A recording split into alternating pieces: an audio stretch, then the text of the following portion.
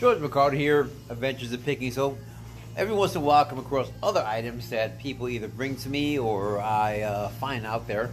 This one I found not too long ago. Actually, someone went ahead and uh, delivered it to me.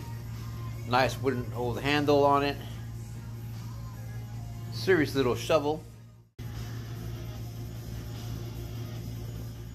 Enough, this is a World War One German entrenchment, entrenchment, sorry, or entrenching shovel. This was used as a weapon in trench raids. So this is a World War One German entrenching shovel. Kind of cool piece of history. Since it was given to me as a gift, I decided to just hang up in a wall.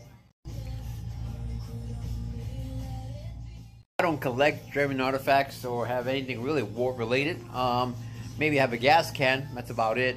But you know what? Pieces of history are pieces of history, and uh, we shouldn't just discard it away. Sometimes it's best just to preserve it and keep it.